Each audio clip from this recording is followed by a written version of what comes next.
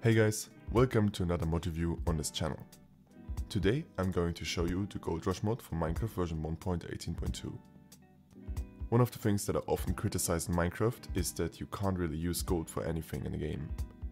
The Gold Rush mod fixes this problem by basically adding a lot of new possible uses for gold and creating new features in the game. There are new ways to find gold, to build with gold, and there's even a really cool new mob that will fight zombies, skeletons and spiders for you. So, let's get started. The mod adds a new way to find and farm gold. If you have the mod included, gold will spawn not only in caves underground, but also underwater in rivers and in the ocean as well.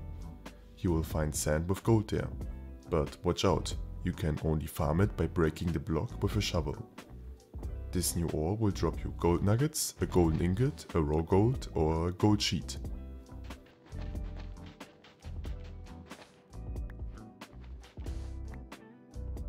A gold sheet is an item which looks like paper but has a golden texture. With these golden sheets you can craft golden bricks by putting a golden sheet and any brick block together in a crafting table. Afterwards you can craft golden stairs and slabs using the golden bricks. If you put a golden sheet and any chiseled brick, excluding the nether bricks, in a crafting table, or if you use two golden brick slabs in a crafting table, you can obtain chiseled golden bricks.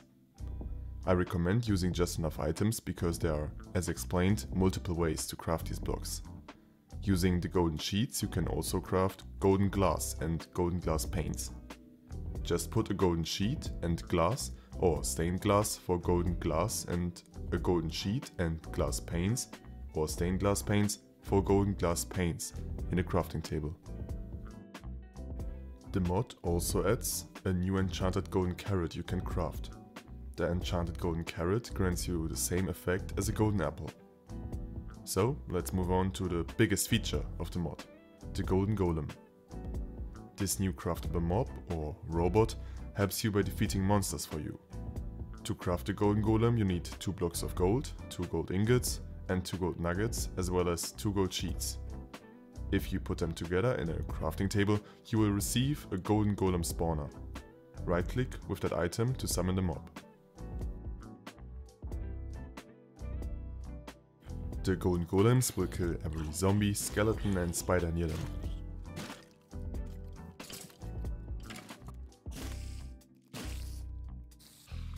They will also chase rabbits and kill them, so it is recommended to separate them from your stock of rabbits. The golden golems are also scared of piglins and will run away from them.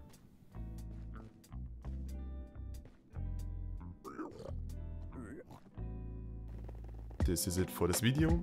I personally really like this mod. It doesn't add too many features but includes some really fun blocks, items and a new golden golem mob that can come in handy in your Minecraft survival adventure. So, thanks for watching.